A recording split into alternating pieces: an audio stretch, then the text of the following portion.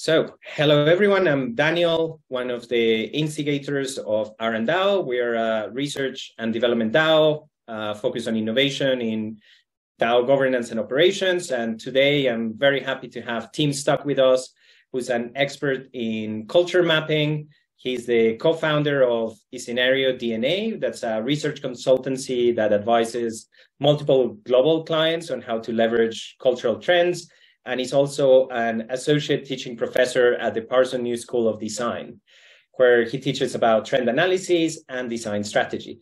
So today we're going to be talking about uh, culture mapping. And Tim, please over to you. If you'd like to share a little bit more about your background, uh, that'd be most appreciated. And we're very excited to hear your presentation. Thank you for being with us.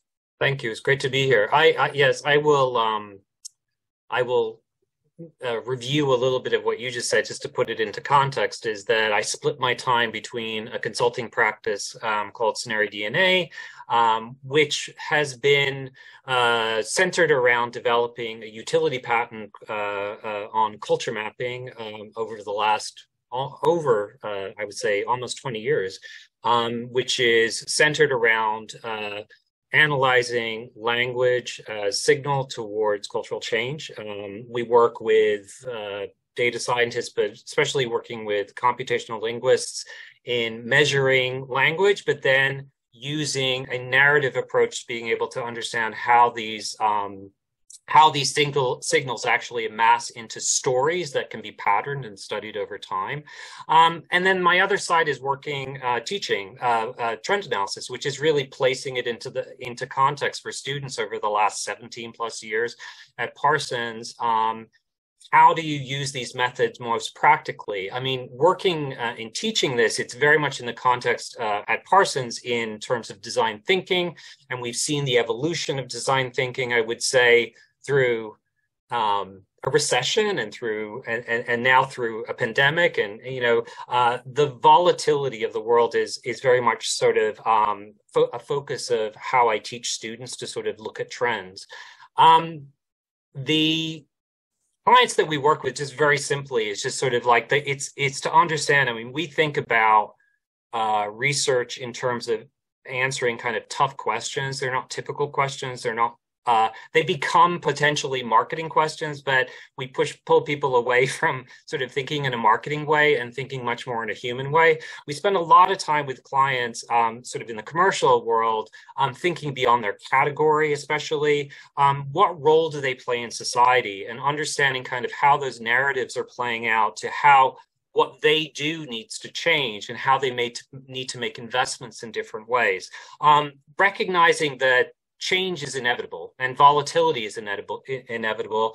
How do you develop a research method that can really sort of withstand sort of a more ambiguous world? Um, my work becomes easier in talking to clients when you have things like pandemics because you know it sort of becomes obvious. Um, it, it, it's less obvious when things don't appear to be changing as much but i would say we live at a time where i think more people are aware more clients are aware of the fact that you need to understand these kind of methods towards change.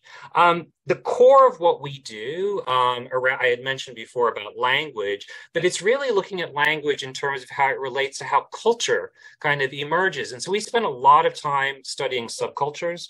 Um, we see these as kind of these engines of social cohesion. Um, they allow you to be able to read signals before they become more mainstream. A lot of trend analysis looks at the surface as as uh, once things become kind of ob- obvious and they're manifested as social behaviors. But how do you look at those those signals much earlier? You look for subcultures that are actually responding. Subcultures are pow- we look at the idea of subcultures as pow- part of a power system, essentially. So concepts of like what is dissenting in culture is very important to understanding uh, understanding change. So subcultures are very key to how we look at uh, that change. And then as I had mentioned to you before, it's like understanding change in this world of recession, pandemic, what is now what we call a perma crisis, which is sort of, I think, eventually we've reached this point where we've accepted that, oh, the world is constantly changing. Um, one of the interesting things, if you study these trends through these different moments of change, like the recession, it's um, and you, you're sort of talking to people about their expectation of oh well we'll return back to what we were doing before. We go through a recession and then people sort of will go back to what they were before. There's this sort of linear idea of how how sort of change happens and how culture changes is that when you look at um, sort of it in in a more sort of underneath the surface, this sort of social science kind of approach, is that you're seeing the fact that these aren't linear processes. The, the, the culture is changing constantly. You know, culture is is a biological system, uh, really, and we're going through that process of adapting to these changes. We need to understand how those how those signals, how those behaviors, traits, and so forth are changing in the context of those ongoing externalities so that's sort of the state of research is you know and i you know i teach trend analysis at a school that talks a lot about design research. So you know i end up sort of being kind of a sort of a pushing against sort of sort of the uh you know sort of the standard of design strategy as sort of your your typical idea of design strategy as being some somewhat um uh inadequate, I would say, in terms of the kind of world that we live in today. I mean, you look at sort of the basics of design strategy is that we sort of look at, well, what what do what do people desire? Um, what tools do we have? What's you know what is the sort of feasibility of the tools that we have, and then sort of viability? Can we sort of make money on it? That's not really how design works. Um, and you start looking at kind of basing a lot of what you do on materials and sort of what methods you have. It's a very engineering, it comes very much from our Bauhaus sort of traditions, is that we base a lot on that sort of materiality and not looking under the surface of what is really essentially the the essential component of UX, which is behavior. And is, you know, when you look at sort of a phone, um, the use of a phone is is is really about the changing and adapting meaning of privacy with that technology that's been adapted. But it's not included within that process and it's not within typical kinds of foresight frameworks because they think very linearly based upon existing tools we have and that it will continue along a particular track. I mean, we have that a lot in terms of how we look at autonomous cars or any pick any kind of sort of future kind of trend subject and we make a lot of biased kinds of conclusions about what will actually happen in the future and you're not looking at the volatility of social behavior. You're not looking at about the design within that context. So more importantly we need to think in terms of a much more of a pattern of of um, a social science sort of way of patterning this information between knowns and unknowns. And you could say kind of residual this residual traits that we have and what are emergent traits that are uh, are showing up in response to what is not working. These are narrative par- patterns that happen uh, that are happening within culture all the time, based upon the things that we make and the systems that we put out in the world. So to look at you know a, a you know a, a much stronger approach to research is taking this narrative um, approach. You know, our world is shaped by stories. Um, you know, they are. We define. Um, you know, the this image here is uh, the fall of Icarus. I would say that we are definitely in a fall of Icarus moment. Uh, there is, I mean, I look at for particularly as an archetype, a cultural archetype. Elon Musk is a cultural arch- archetype. Um, you know, represents a lot of other kinds of expectations we had as to how technology was solving problems in our world. And it's kind of interesting the ways in which those things are sort of falling apart and study them as narratives and the subculture responses to that sort of crumbling. And you get a very interesting kind of picture, a much clearer picture of actually what is going to happen into the future.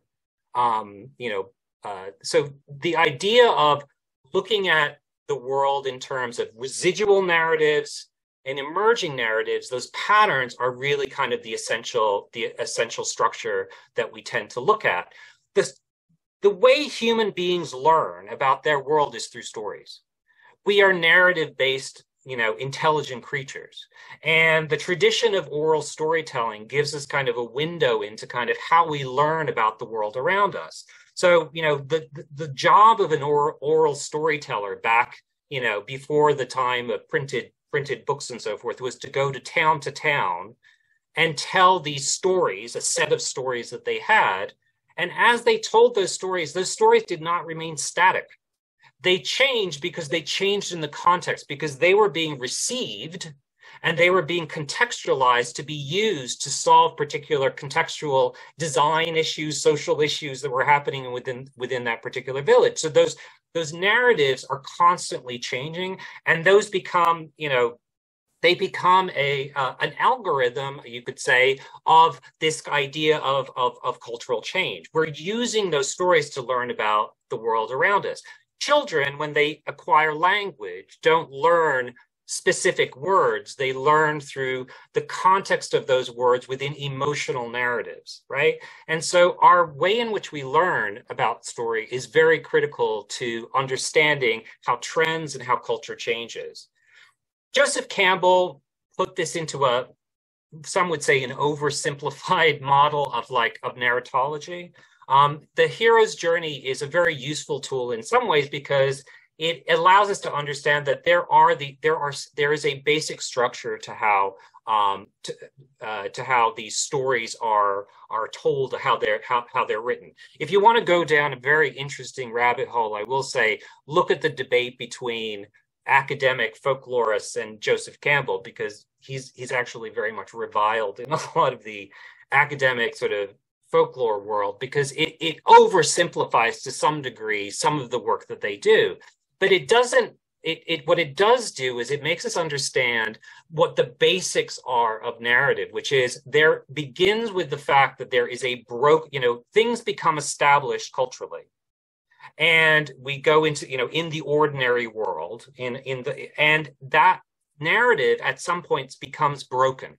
So we establish rules, we establish regulations, we do all we our policies are that idea of story becoming static and being made static. But that point is that we don't it, it, there is a point of which that that becomes broken because it doesn't meet as as society is changing. So there is this issue of needing to resolve that story. So there's this pattern of dissent that happens culturally as this cycle of constant change. We've gone through those cycles as i had mentioned earlier with the recession I mean, the recession didn't live as just this economic event. It was tied to very many social movements like Occupy, which ended up feeding a lot of other protest movements that are brought about different aspects of social awareness.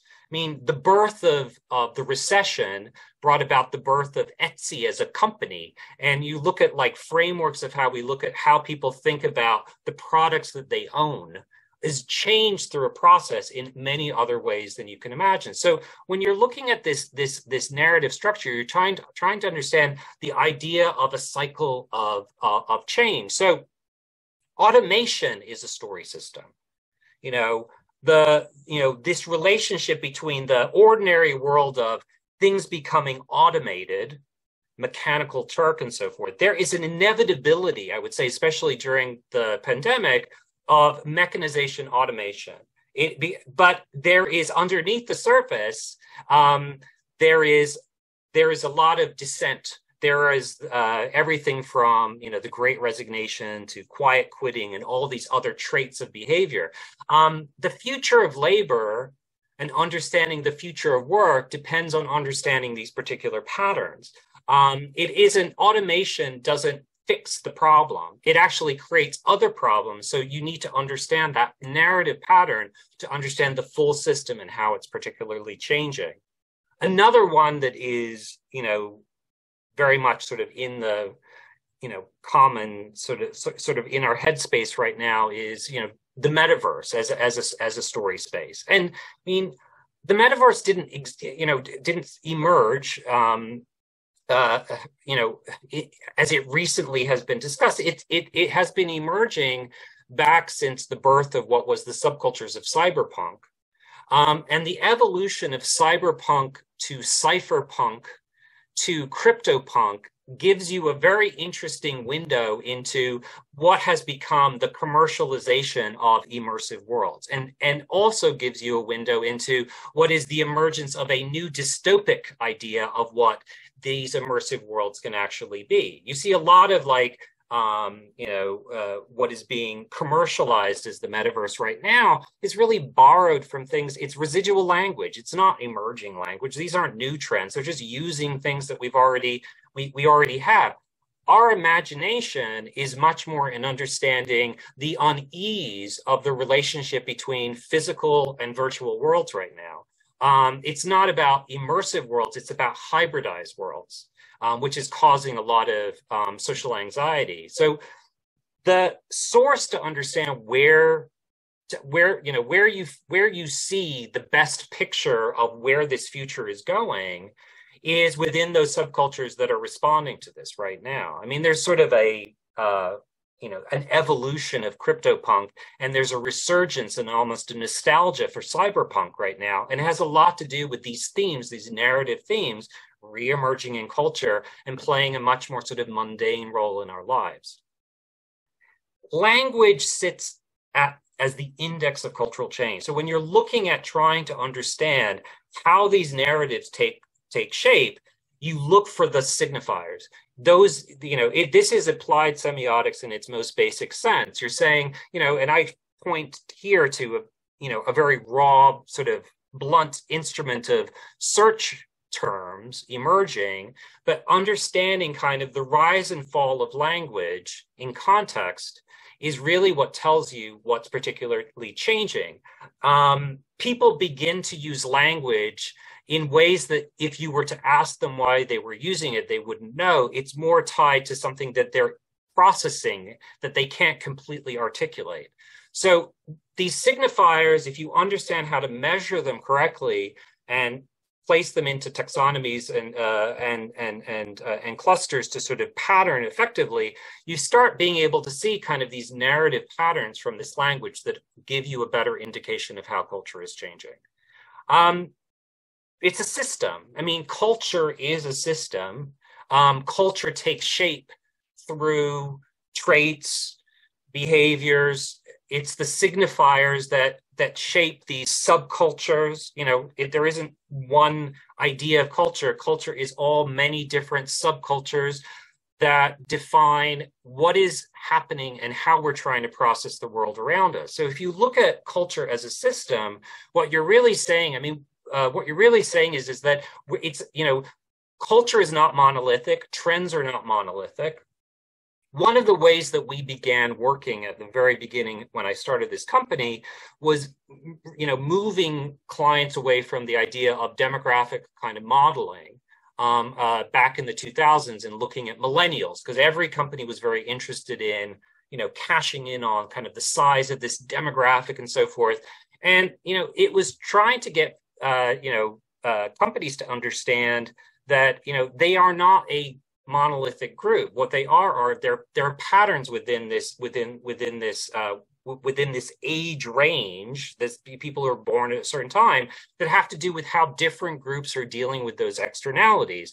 You could see within you know as early as say 2007 um, what would become now sort of more sort of uh, sort of common uh, conversations around concerns about privacy. But nobody would ever nobody would ever you know pay attention at that time to realize that we were about you know we were about to have an epidemic of loneliness. We were about to have an epidemic of kind of sort of mental health tied to a lot of these technologies. But the signals were already there they were just we weren't focused we were looking too much on the surface. And it's about looking at the syst, the whole system of that culture and recognizing for every signal there is actually a, a, you know an opposite signal actually.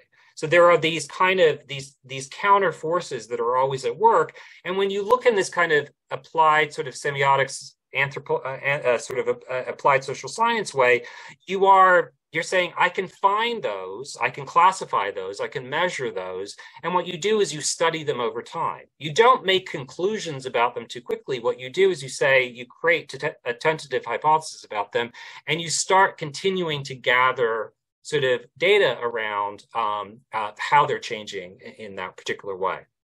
So, you know, you know, technology has fueled, um, you know, these story systems in ways that we could never have imagined. I mean, like you go back to kind of a quick history of, you know, from Claude Shannon, sort of, sort of giving us kind of the theory of, of, of, you know, uh, modern sort of information kind of uh, sort of sort of technology uh, sort of dissemination to McLuhan, um, you know, uh, where it's about systems, you know, are as much about cultural meaning. You know, the we build these systems and they actually begin to affect the meaning of the cultures that we actually live live in. To Trump, which is essentially McLuhan's prediction, which is you know man becomes the sex organs of the machine world. We have a lot of of what appears to be human behaviors, but actually are machine behaviors um, in our world.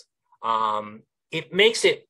We do some work in the political sphere, and it, it's um, you know it's become very difficult to sort of uh, manage uh, a sort of sort of uh, support around certain kinds of causes and ideas because it's so easy to sort of pollute them with other counterpoints that are you know there's a lot of meme memes and sort of emotional kinds of ways of uh, of expressing um, you know uh, ideology that doesn't have to do with actually moving from ideological position to actually policy position. It's just it's all about emotion.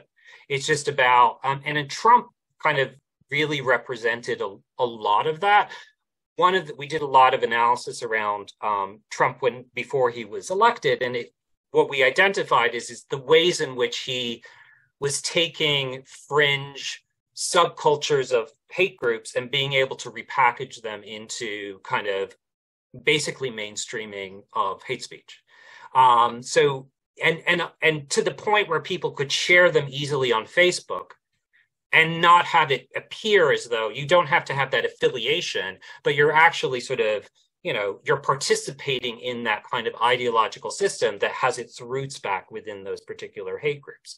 Um, so it's important to understand the ways in which technology has actually made that much, much more complex. So this is the approach that that uh, that we use in terms of culture mapping as a way of, you know, being able to take language into these particular there are four different meaning spaces here. We there is you know the residual and the dominant which sort of define kind of the main our, our mainstream culture and the disruptive and the emergent um, that uh, represent more the, the sort of what I had said before with the Joseph Joseph Campbell, the special world, the subculture world that is that is um, that is developing.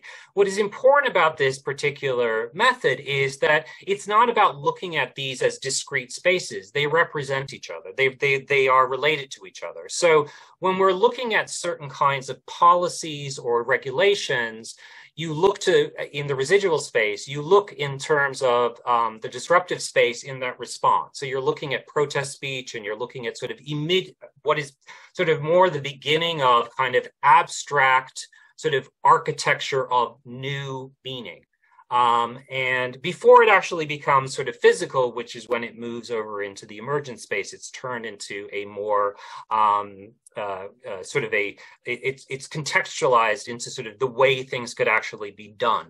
You know, I always use as an example, food is sort of the simplest. It's like organic, as an example.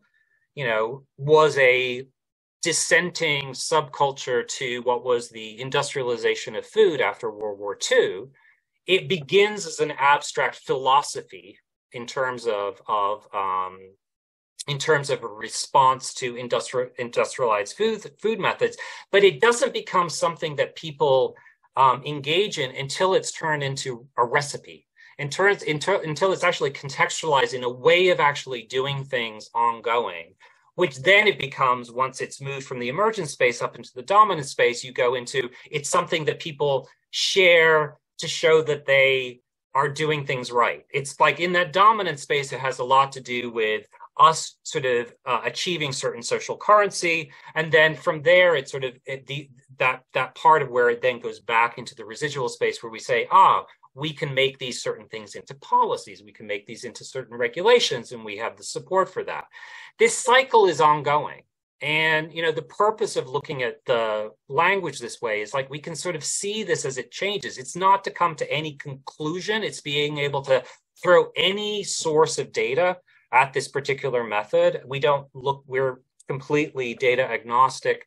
Um, we you know we're just looking at any kind of source of data, in every single language uh, we do a lot of work in in asia and latin america um, and it's understanding kind of uh, how do you pull in sourcing the data in that way to be able to read that most effectively? So so you know these particular as i had said before these story spaces it's like in the disruptive space you know what new philosophies and frameworks are being proposed has as much to do with what new standards are being are being you know uh, are being made policy. So like it's almost well that isn't enough you know that isn't you know there's actually as i had mentioned before about organic um you know organic has been turned into such a premium luxury culturally that it's lost and diluted its meaning is that you see kind and it's moved us away from science actually. It's almost sort of very much sort of created an anti-science men, uh, mentality in society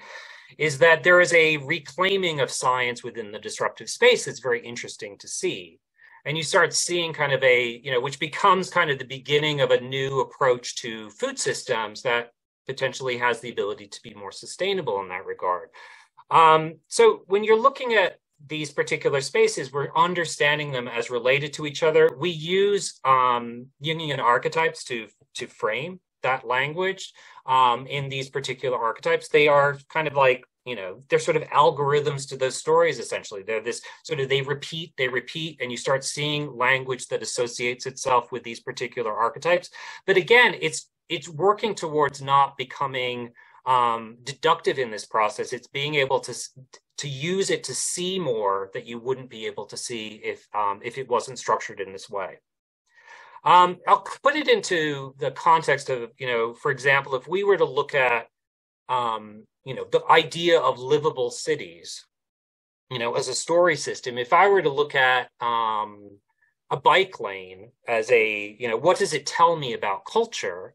Um, it's a story of a kind of an imperfect um, execution on things that are being demanded culturally over a long period of time, right? It's sort of a best guess at at at, at kind of, of of what might actually work. Um, um, and it, but you know, to understand kind of the positive aspects of a bike lane and really kind of where it could go further, you need to look at the subculture that actually gave us a bike lane, which is bicycle protest movements within particular cities.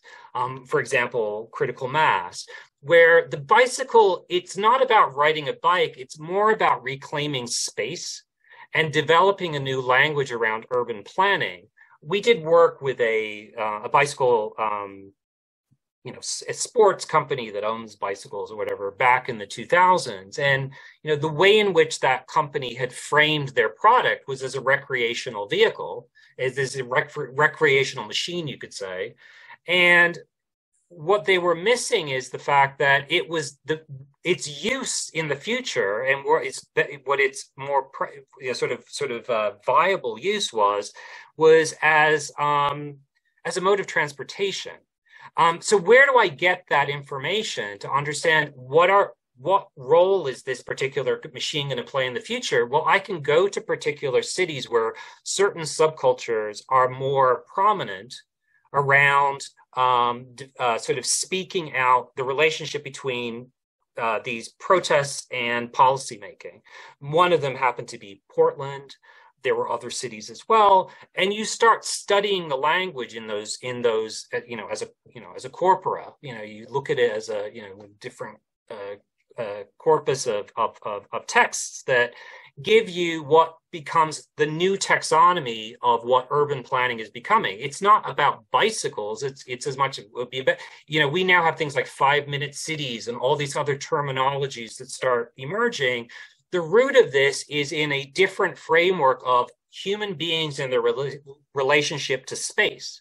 You could similarly look at during um, COVID 19 study skateboarders um, in cities and, and how their idea of, of their ownership of space is actually telling you how how public spaces actually need to how how they actually need to function. Graffiti is another graffiti artist is another is another really uh, great example. One of the one of the sort of uh, economic trends over the last 20 years that that people have some people have paid more attention to others is that within urban centers there is a diminishing amount of public space. More and more public space is becoming privatized. And so the idea of what we our ownership of our space is a very difficult thing to articulate. The pandemic helped us in many ways because you saw a lot of kind of hacking of urban spaces during that particular time. You saw like restaurants with sort of outdoor sheds, it changed our kind of cognitive framework for how these how these spaces actually um, you know uh, might function. But to be able to source where that information is going to come from is going to be is you know it's going to be much more valuable. So when we start looking at it in terms of you know that relationship in terms of grassroots futures of like what kind of the grassroots subculture is saying the future should be and what the policy future is you know it's kind of the difference between you know uh, uh, stooping, you know, the idea of stoops in cities where people, community talk to each other and they gather information to sort of apply to sort of solve these problems or stumping. And we fight a lot against kind of being told information. And I would say, going back to what I said about technology, technology makes it very difficult because we're awash in this technology where we're being kind of told almost what to say. It's sort of like the, the you know, like, you know, give somebody the opportunity to make a selfie and they make a selfie that looks like the other selfie that came from it. You don't come up with anything new. You're not thinking about what you really need. You're not really thinking about your own needs an identity and the relationship you have to other people within your community. So the what's happened is is that we have very hyperbolic kinds of um, cycles going on. This is a picture from sort of anti-CRT, uh, you know, groups at at uh, public, uh, you know, school um, hearings. Um, and it has a lot to do with how that technology is really feeding kind of like a, a rage engine that we need to be more aware of if we're actually going to sort of fix certain policy issues because um, you can't just sort of pretend it isn't there. You have to recognize how it's working. You have to recognize sort of the mechanics of how that's working. So, you know, to put it into the context of a, of a mapping approach, you're really thinking about where, what data that you can source. So, sourcing social protest data, thinking about when you're thinking about it, working with food companies and so forth, ingredients and techniques that are emerging. We look at product um, design and packaging, the way in which people sort of are frame, beginning to frame these stories, to develop these taxonomies, to be able to map them and measure them, and to and to pattern those and and to pattern those those narratives um, over time. The part about this that I you know as I get into some of these other examples is that is to remember what we're not doing when we think about trend analysis is we're not thinking enough about the source of the data. We're not thinking enough about um, am I am I what other data could I bring in this that would that would expand my thinking around what actually is happening. The problem is is that when we typically think about trend research, we I mean for many, many years, trend research was basically sentiment analysis.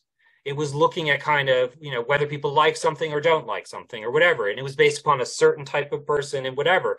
We need to be thinking much more of expanding sort of for the diversity of the society that we live in and bringing in those sources of data and being able to analyze them uh, much more, uh, much more carefully. Um, so to put this into then perspective of like the world that we we're living in with all these new tools is that AI is a and these sort of machine learning tools like Midjourney and so forth offer and chat, you know, GPT, everything is is is is getting everybody very excited. But they are a study um, in again what I was just saying, which is uh, what are they based on? Um, you know, they are a you know, they are outputs based upon a finite data source. Um, we need to recognize their uh, potential, but we also recognize why they are um, incomplete at this particular um, at this particular moment because we're not. They're very engineering focused. They're very much well, they're, they're the data sets are determined by the engineers who program these particular AI, this particular AI. There's a certain narrative within that. I'll give you as an example. I did a quick test of DALL-E when it first um, was offering the ability to upload photos of, of your own and offer um, AI kind of versions, uh, uh, sort of uh, sort of artificial versions of them. And on the left is you know, my daughter getting her driver's license and taking me for a drive. Um, and you know that was reality. This is us taking a drive. On the right is one picture, but every single image that it would bring back would be it would flip the uh, and place a male in the driver's seat. Um, and you know sometimes it would make you know my seat where I was sitting. Sometimes I would be pregnant. I, I don't know. I would be. Um, you, like I start seeing kind of there's a limit to uh, this data. There's a certain, um, you know, th- you start beginning to kind of see the the walls of the world that you're kind of living in, where um, uh, and when you see that, what's good to see about that is how you sort of break through those walls to be able to expand those particular um, those particular data sets. To to think in that way you know the problem is is engineer an engineering mindset tends to think a lot of the tools that they have they think in the methods that they have. I would really um, recommend uh, thinking much more in terms like artists do. Um, and this is a wonderful artist by the name of mel kendrick. He's a sculptor and he has a lovely uh, quote that says every sculpture is only uh, a point in time. Every object could go further. It's that we tend to think in new when we think of imagination and we think of something, it's that we are creating something that is new. When we think of, you know, especially in the world of trends, it's like the idea of creating something that is new that hasn't been done. But really, what we have to recognize, what we're always doing, is that we need to be building on what we have and what we need and the problems and, and particular conditions that we have. We tend to ignore a lot of those kinds of things. So, looking at kind of, um, there's actually a, uh, you know there's a there's a uh, a type of of, of um, fiction, science fiction called mundane science fiction that specializes in this area. Maybe some of you are are familiar with it, where you know in mundane science fiction they don't focus on flying cars and aliens and so forth. They focus on the things that we have and trying to solve um, uh, existing problems with tools in more creative and imaginative in creative and imaginative ways. Um, and so it's a, you know, it, it, it, requires much more thinking in the ambiguity of, of, of, of things. Um, as I had mentioned before, when we look at a, a phone, you know, we, we, the, the draw towards efficiency of operation is such an allure, right? We make it easy. I want to make things easier, but you realize an artist would very much think about when I make things easier, I make somebody more passive.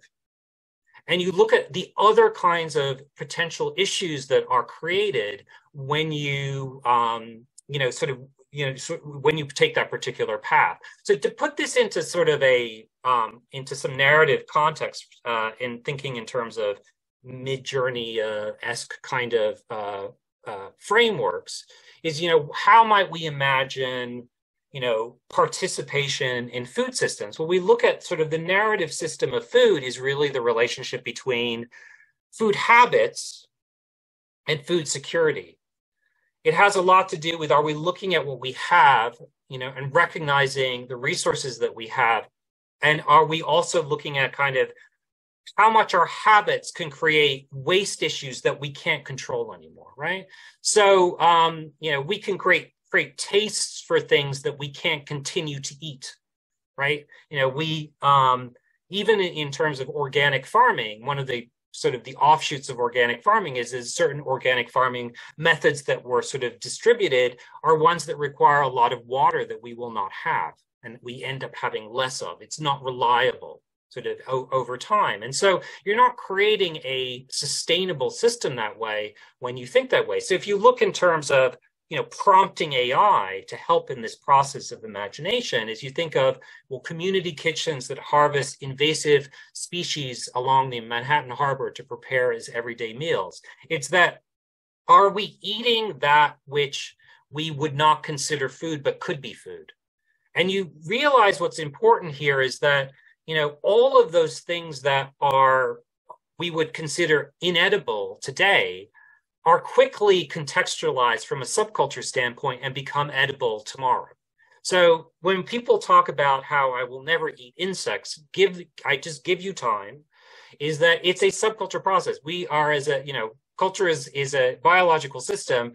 At some point, it becomes something that gives uh, one we accept and two even gives a social currency. I, I could have had uh, you know when i first started teaching at uh, at parsons you know the few male students that i have and i talk about sort of how the in the future we will move much more away from from meat consumption just because it's just an inevitability that we move away from meat consumption is that the pushback it will never happen it will never happen. Well 15 years later you know they're lined up at the you know impossible burger and you know and and so forth. It's like there's a it all depends you have to sort of understand that we are social creatures and understanding that process um, is is important to sort of uh, sort of get past sort of what we think sometimes is the inevitability of cultural change.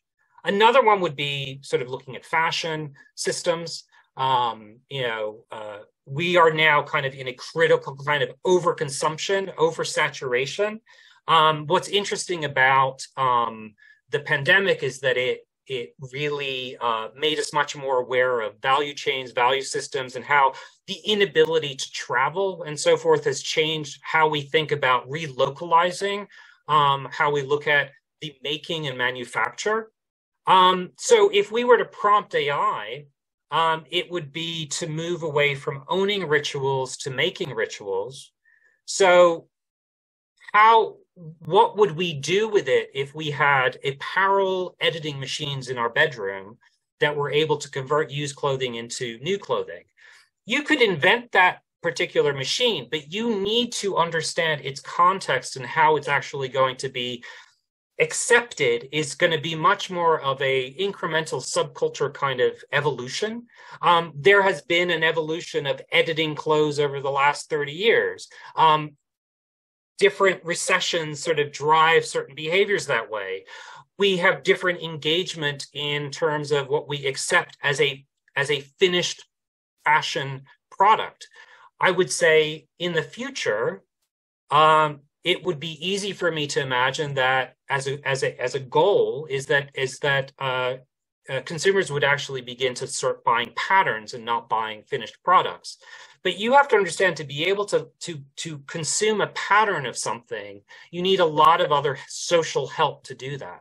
And so, what we're trying to do when we think about changing fashion systems, we have to think about investing and cultivating those subculture helps towards helping more of the mass population understand changes in those particular habits, moving away from buying without thinking, which is basically what fast fashion has become. Um, and then I sort of moved to education in my last example, which is, you know, we are now kind of at a critical point of what is the purpose of education? Why do I go to university? Um, is it market skills or is it my or am I developing human skills? We're we're more and more if students are in university right now, they are much more having to consider are the skills that I'm learning things that a machine could learn just as well? So the things that I learn, how am I, how, where am I in that? And then you start getting a lot of sort of anxieties in this particular process because a lot of students, there are trends that sort of economic trends that show this that more and more students are dropping out, they're doing gap years, they're kind of rethinking kind of what is the purpose of that to analyze that current moment is a lot of this. It's this kind of tension. It was much like with privacy within technology. We're seeing this tension that hasn't been completely articulated as a story, but is going to tell you not only what schools are going to be, but it's all also going to tell you what kinds of skill sets that companies need to develop. Because it's not just about school, it's about saying, well, what is a job? What is the, you know, how, how do I continue to do that work how do I gain any kind of sense of my own identity within that particular process? It's very important. So when we think in terms of like new technologies, I would say, you know, study around the sort of technologies around ecoborgs and human hybrids of like using a lot of conversation recently about using these chat GPTs in terms of becoming kind of serenoids, uh, ecoborgs of sort, where they help you they learn what you know and don't know and help you learn the things that you know that you that you need to know. Um, the purpose of education should not be to tell you things to fit into boxes. It should actually be teaching us how to be more human and actually to take greater risks and be more experimental. We you know companies struggle with this is that you know we need people who are actually going to help us think about the thing that we haven't thought of already it, right now we're so much caught in residual codes of, of education it's very difficult to do that. So how do you develop these hybrid models? You need to understand kind of how those narratives are actually um, playing playing out right now. Are i would i would leave you with like that in terms of looking at research this way is that we need to think much more in terms of a lab approach to research. And i say that in that you know labs um, I'll let you get things wrong. Um, it's not about it's not about having a right answer. It's about letting things break and sort of having incomplete answers to things and being able to continue to study that because those are going to be the most valuable um, kinds of uh, sort of uh, sort of insights um, going forward. There's a wonderful quote from Steven Pinker you know, an essential part of rationality is dealing with randomness in our lives and uncertainty in our knowledge. I mean, that is the state that we're in. And we really need a research framework that can really match that kind of volatility and complexity that we have going forward. And that being said, that is, those are my slides if anybody has any questions. Thank you very much, Tim. Super, super interesting to see the the concept and then figure out the the different applications, the different trends, subculture, mainstream culture, subculture identify gives a, a very good flavoring of it. Um, I'm gonna open up for questions in a second, but so if anyone has any, feel free to uh, to go for it. I'm just gonna take the privilege and ask one that is burning for me. Sorry, Matt, I saw you were about to jump, but I'll pass to you straight after. Uh, but I'm curious, have you applied? I see that a lot of these you have applied to broader context, like let's say the outside of an organization. Have you ever applied them internally to the within an organization, the sort of conversations that are happening? Well, it's exactly. I mean, right now, without naming, you know, one particular company, it's about changing R and D within a tech company because it's the idea of within the R and D process, uh, there are certain biases that are stopping, that are almost keeping the the use of certain kinds of how you use your patents and how you use the sort of abilities, the capabilities that you have, expanding it and thinking about other linkages to it that you might that might not occur to you. So um, we we're current like that's a particular you know obvious area is like more trying to sort of um, I have nothing. I mean, like I'm I had mentioned sort of um, sort of somewhat of a negative around kind of the state of of engineering and what it's done to our world. I don't have a negative about engineering at all, but I do think that there needs to be much more of a hybridization of um, within kind of engineering and art because the kinds of problems that we need to solve are more abstract and more ambiguous. And I would say everything is not building something. Sometimes it's not building something. Like I would say, like it's it's the idea of like as an engineer to say, I'm not going to do that is like is and it's very difficult in some you know because just the way in which certain teams are are structured is being able to help gain a voice for that and actually articulate it and put it into sort of practice in a more sort of in context in that way. Thank you. Thank you very much. Uh, very interesting. Matt, over to you. Thank you. Yeah, interesting presentation, Tim. Thank you. I'm curious your perspective. If if we respect the last point you made, and and amplified with Pinker about uncertainty, is the implication or could an implication for DAOs be to sort of in the style of Nassim Taleb think about options where you know given the uncertainty given how cultures change and it's hard to know what it might be and what it might mean for the community or the product or service is that one of the takeaways from this presentation? Or if not you know if, if the Taleb paradigm is wrong for interpreting your your advice uh, what would be a better paradigm? Well i think that um I mean, the it, the the Taleb uh, connection it, it, is very valid. It's that I think in terms of because what it is is that we are always um, expect the unexpected.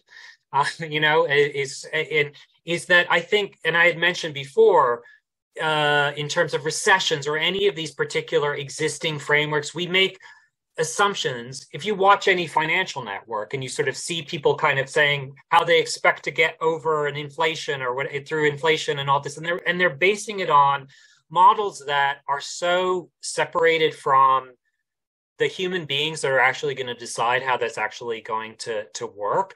Um it's what i would say though is is be clear on expanding the types of ex- the the range of externalities that are actually affecting that change.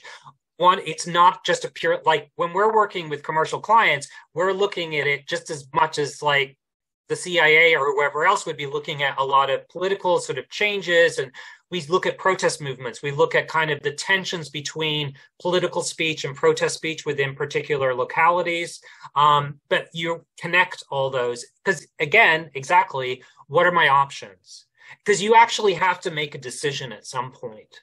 And you have to make you have to say this is my best investment at this point and this will step and i know that this won't you know we can be too i think that it's sort of moving against what's happened with technology sort of pitching over the last say 10 15 years is it's not get, go big or go home these kind of like like break it till you make it or something it's like you have to recognize how much can actually be lost if you do it in that way is that what is your next step how adaptable are you when it doesn't when the model doesn't fit the next time like it's so many assumptions are that the model will stay the same. It's not going to. So I would definitely uh, agree with that. It's just trying to sort of look at those options and think a lot about the adaptability of those options. I hope that answered your question.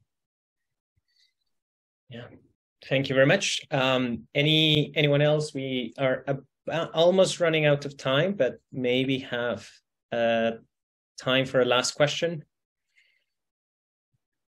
and yeah i'm seeing mel and an interesting comment about the the current syntax of organizational differentiation doesn't serve us well um curious your your thoughts about that in terms of then culture and trends. Well it's interesting because there's a lot of culture has been used a lot in terms of org you know um you, you know there are you know many sort of uh, sort of initiatives within companies to go and change the culture of those companies as if the culture is inside of the company but the culture is that company with all those people who have relationships to culture outside of that company. So you know you have engineering departments and they have relationships to subcultures and so forth. And like understanding that you know there aren't the walls don't exist anywhere. You have to see things only in terms of society. I would say organizational kinds of issues are the same as looking at categories for for products.